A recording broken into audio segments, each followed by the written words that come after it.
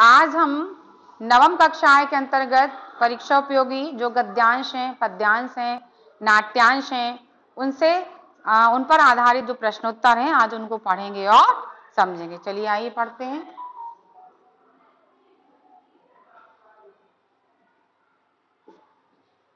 जैसे कि आप देख रहे हैं इस प्रकार के जो गद्यांश हैं वो परीक्षाओं में पूछे जाते हैं।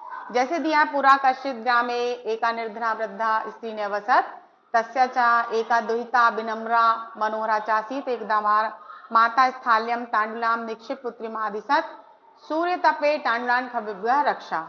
किंचित कालान दंतनम एको विचित्र काका समुद्र तस्या समीपम अगच्छत। नैतादृश्य स्वर्ण पक्षो रजत चंचो स्वर्ण काकस्य तया पूर्वदृष्टा ताम तांडलन खादतम। हसंतम च विलोक्य बालिका रोदु माराब्धा तम निवारयंती सा प्रार्थ तांडलम भक्ष्यम आदिया माता अति निर्धना वर्तते। जैसे कि आप जानते हैं कि आ, किसी मतलब जो ग्राम में एक जो वृद्धा महिला जो स्त्री रहती थी और किस प्रकार से मतलब उसकी एक बहुत अच्छी मनोहर जो थी बालिका थी और एक बार वो क्या करती है अपने जो चावल हैं उनको सुखाने के लिए और बाहर मतलब भेजती है कि बच्ची को कि आप रख करके आओ ताकि वो चावल सूखे और पक्षियों से उनकी रक्षा हो। लेकिन क्या होता है कि उसी प्रकार से वहाँ पर एक बहुत अच्छा स्वर्ण जो मतलब सोने का कौआ आता है और इस प्रकार से वो खाता है।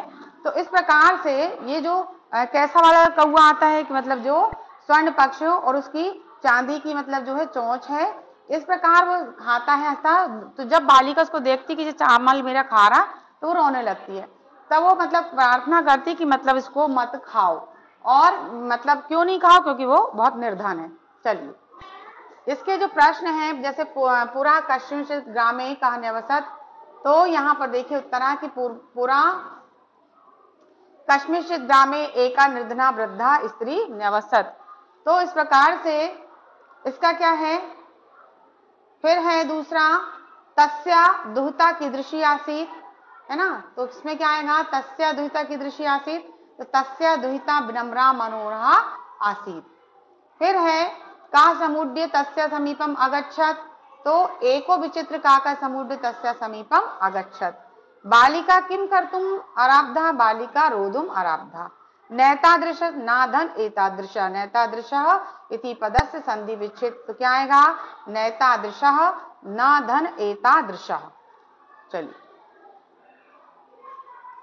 अब इसी प्रकार सूर्योदा पूर्व सूर्यादा पूर्व वो सा तत्रोपास्ता वृक्षो परि बिलोक सा आश्चर्यचकिता संजात स्वर्णमया प्रसादो वर्तते।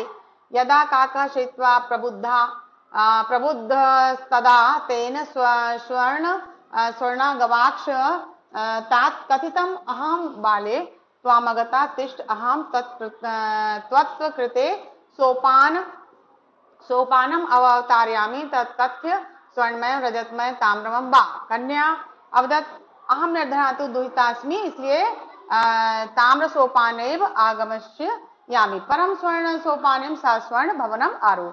मतलब जब वह उसके चावल को खा लेता है तो वह इस प्रकार से पूछती है कि भाई आ, जब जाती है वो बुलाता है सोने का कौआ तो उसके स्वर्ण महल प्रसाद महल को देख के आश्चर्यचकित हो जाती है। और वह उससे पूछता है कि आप ताम्र के उसमें या सोने के उसमें या रजत में किसमें मतलब आपको मतलब जो भोजन है वो किसमें दें? वह कहती मैं निर्धन हूँ तो मुझे आप ताम्र में दें। लेकिन बस किसमें देता है? सोने के आ, मतलब जो थाली है उसमें खिलाता है। प्रश्न है सा कथम आश्चर्यचकिता संजाता सा वृक्षो परिविलोक्य आश्चर्यचकिता संजाता। का सहित्वा प्रबुद्धा? का का सहित्वा प्रबुद्धा? सा कदा तत्रोपस्थिता, सा सूर्योदात पूर्व में तत्रोपस्थिता, सा केन सोपान स्वर्ण भवनम आरोध सा स्वर्ण सोपान स्वर्ण भवनम आरोध विलोकिति पदस्य प्रकृति प्रत्यय पृथक पुरुत तो इसमें देखिए, बी उपसर्ग है, लोग जो है धातु है, और यप प्रत्यय है। ठीक? चलिए। अस्ति हिम्बान नाम सर्वभूत रत्न भूमि नगेंद्र। तस्य सानोपरि विभाति कंचनपुर नाम नगरम तत्र जीमूत केतु इति श्रीमान विद्याधरपति बसति, तस्य ग्रह उद्याने कुल क्रमाघात कल्पतरु स्थिता। राजा जीमूत केतु तप कल्प तरुम आराध्य तत्व प्रसादात च बोधि सत्वान संभवम जीमूत वाहनम नाम पुत्र प्राप्नोत। सा जीमूत वाहनम महान दान वीरा सर्वभूतानु कंपनी चावत तस्य गुण प्रसन्न स्वचिव वैश्य प्रेरिता स राजा कालेन तम प्राप्त योगनम तम योगम राज्य अभिषेक्तवान। इस प्रकार से जो कंचनपुरम नाम का नगर था, हिमबान एवं सर्वभूरत्न भूति वहाँ नगेंद्र जो मतलब राजा, जो कल्प, जीमूत वाहन वाले इसमें दिया हुआ है, किस प्रकार से वो दानवीर और किस प्रकार से मतलब वो गुण संपन्न। तो इस प्रकार इसके जो प्रश्न है वो क्या है? सर्वरत्न भूमि किम नाम नगेंद्र अस्थि देखिए यहाँ पर सर्वरत्न भूमि हिमबान नगेंद्र अस्ति। तत्सानो उपरी किम नाम नगर मतलब कौन सा नगर था? तो तत्सानो उपरी कौन सा नगर आएगा? कंचनपुरम नाम नगर विभाती।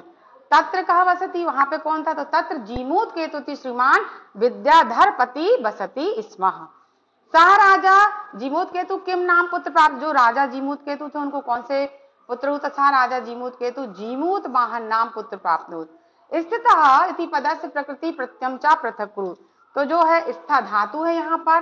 और त प्रत्यय है।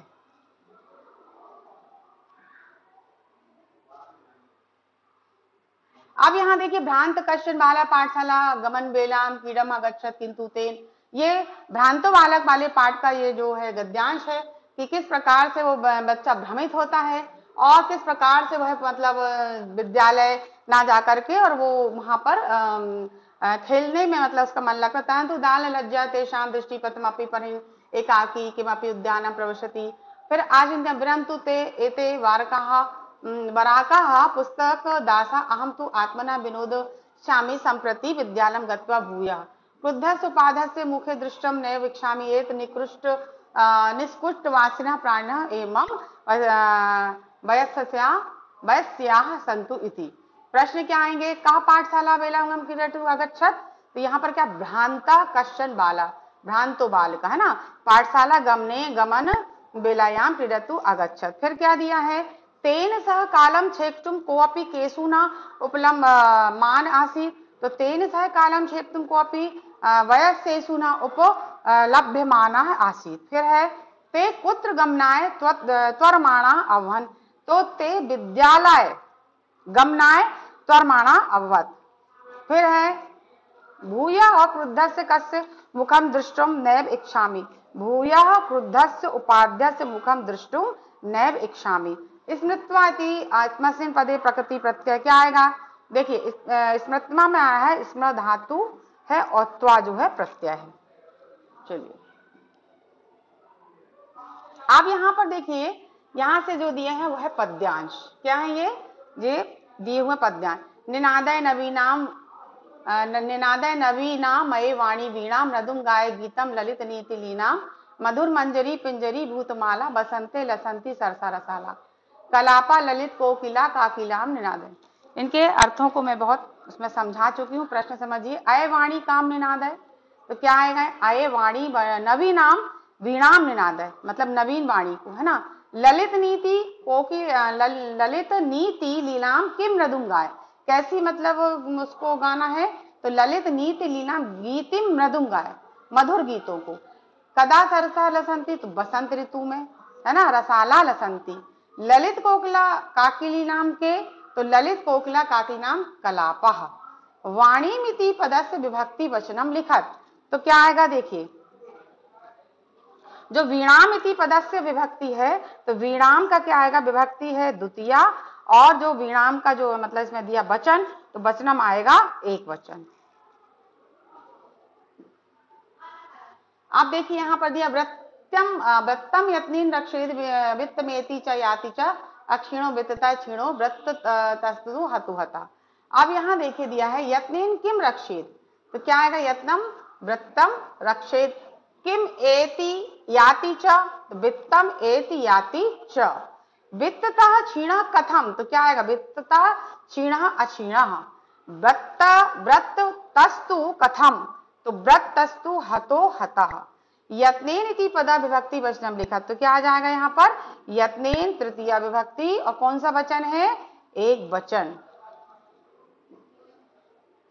अब यहाँ देखिए दिया है पिबंती नद्या स्वयं न अभ्यांग न खादंती फलानी वृक्षा। नादंती सस्यम खलु वारिवाहा परोपकार सताम विभूतया। इसमें दिया हुआ है कि किस प्रकार मतलब जो वृक्ष हैं स्वयं क्या नहीं करते हैं, है ना, नदियाँ क्या नहीं करती हैं, खुद जल नहीं पीती। अब प्रश्न समझिए यहाँ पर, का स्वयं अम्भ ना पिबती? तो जो नदियाँ होती, वह स्वयं पानी नहीं पीती। वृक्षा स्वयं कानी ना खादंती तो वृक्षा स्वयं फलानी ना खादंती। के खलु सस्यम नादंती, बारी वाह खलु सस्यम नादंती। सताम विभुतय कस्मय सताम विभूतय परोपकार ठीक है?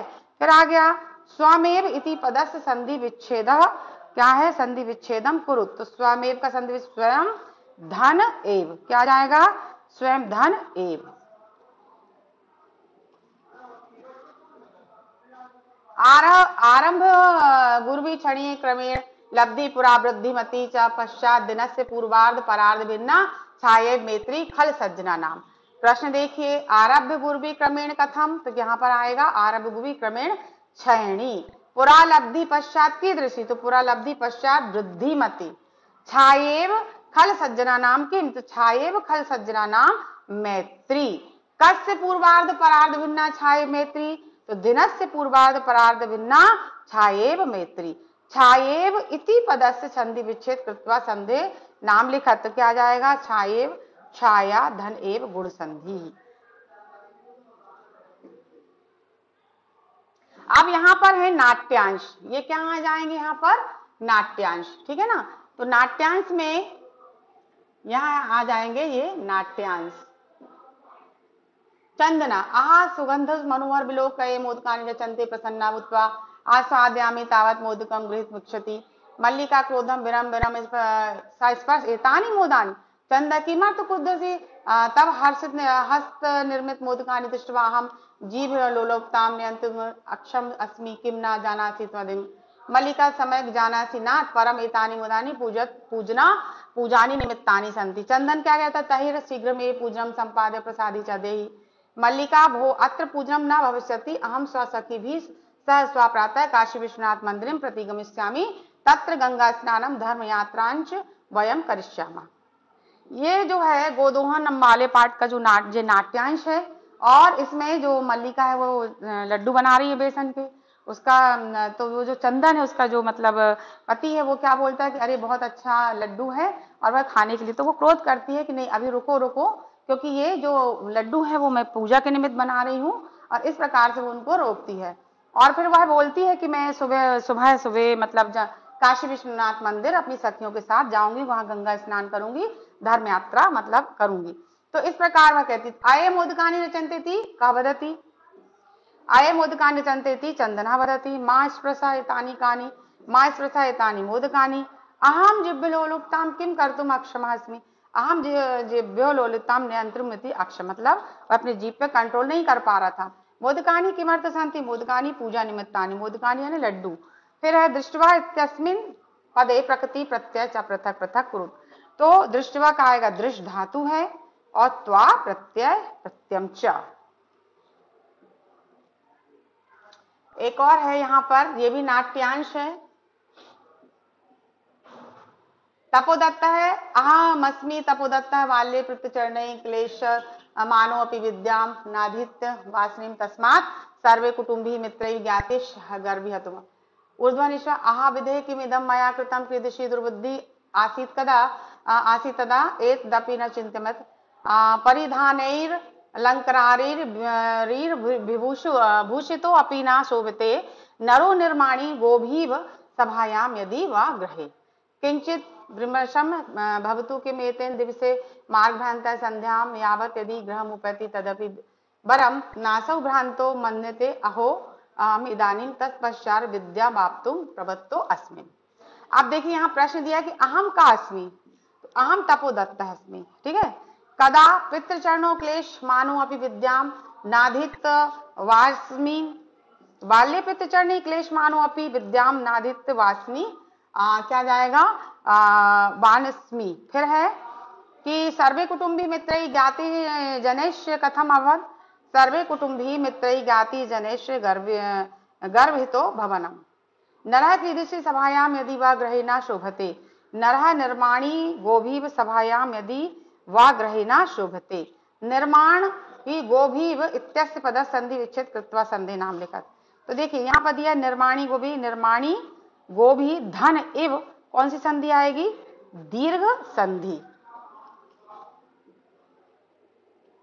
अब देखिए, यहाँ अपठित गद्यांश दिया हुआ है। शरीर धर्म प्रथम साधनम अस्ति। शरीर धर्म खलु धर्म साधनम शरीर सरागो व्यायाम सिद्धति यह व्यायाम करोति तस्य प्राण शक्ति आपदा स्वयं दूरम गच्छन्ति। व्यायाम शरीरे शुद्ध रक्त संचार भवति इंद्रियाणि स्थानी स्वस्थानी भवति, जठराग्नि दीप्ता भवति परिवृद्धम उदर संकोच गच्छति मस्तिष्कम उर्वरा भवति। अस्मिन लोके जने वयोनुसार व्यायाम अवश्य करना हमें हमेशा शरीर का ध्यान रखना चाहिए और हमें क्या करना चाहिए? उसमें आ, मतलब जो हमारा जहाँ हम व्यायाम करते हैं तो उससे हमारे जो शरीर में क्या होता है? रक्त संचार होता है है ना? तो इस प्रकार से जो पेट की जितनी भी मतलब जो हमारे शरीर की जितनी भी गतिविधियाँ हैं वह व्यायाम करने से क्या होती हैं? अच्छी होती हैं। तो इस प्रकार हमें व्यायाम करना चाहिए। प्रश्न देखिए क्या है? अस्य गद्यांश गद्यांश समुचित शीर्षकम लिखा अब देखिए यहाँ पर उत्तर व्यायाम लाभ। व्यायाम से लाभ धर्म से प्रथम साधनम किम अस्ति? तो धर्म प्रथम साधनम शरीरम अस्ति। फिर है, कीदृशम उदरम व्यायाम संकोचन गच्छति। परिवृद्धम उदरम व्यायाम संकोचम गच्छति। फिर दिया है, अस्य गद्यांशम सारे, अस्य गद्यांशम सारे है कि सर्वे मतलब क्या करना चाहिए? व्यायाम आवश्यक, सर्वे जन व्यायाम आवश्यक अवश्य करने यानी सभी जनों को, सभी जनों को क्या करना चाहिए? व्यायाम करना चाहिए। फिर है, गच्छन्ति पदे धातु, गच्छन्ति पदे में कौन सी धातु? गम धातु है। गम का गच्छ होता। है केन शुद्ध रक्तम असंचार बनती तो व्यायाम शरीरे शुद्ध रक्तम संचारम भवती। को अपी पदस्य संधि विच्छेद है तो कह धन अपी। चलिए। अब देखिए, दूसरा यहाँ पे जननी जन्मभूमि स्वर्गदपि गरिसी जन्मी। जन्मभूमि स्वर्गात उत्कृष्टा अस्ति, है ना? फिर सालों का नाम शरणदायिनी विविध खाद्य पदार्थ प्रदायिनी, सर्वहारा। लीला भूमि चास्ति वैदिक ऋषि कथयति माता भूमि पुत्र वयम राष्ट्र राष्ट्र चरितम त्याग भावना बिना राष्ट्र संरक्षण, न पार्याम परस रैक्य भावना बिना राष्ट्र कदापि समृद्ध न भवती। अतः अस्मा स्वार्थ परित्यज देश से देशवासिन च सेवा सत्तम करनी जन्मभूमि कस्मात ये प्रश्न दिए हुए हैं, अब इनके जो उत्तर हैं, द जन्मी जन्मभूमि कस्मात गरियसी जन्म, भूमि जो होती है स्वर्ग से भी ज़्यादा सुंदर होती है स्वर्ग से ही बड़ी होती है। माता भूमि इति कह कथयति? तो माता भूमि इति वैदिक वैदिक ऋषि कथयति। अस्य गद्यासम सार, अस्य गद्यांशम सार सारम यत अस्माभि देश से देशवास च सेवा सत्तम करणीय। फिर है स्वर्गा शब्द का विभक्ति? तो स्वर पंचमी विभक्ति। इस प्रकार मैंने आपको गद्यांश, पद्यांश और अपठित गद्यांश, नाट्यांश, इन जो महत्वपूर्ण है परीक्षाओं में पूछे जा सकते हैं। आते हैं परीक्षाओं में उनको पढ़ाए समझा आप इनको बहुत ध्यानपूर्वक पढ़ेंगे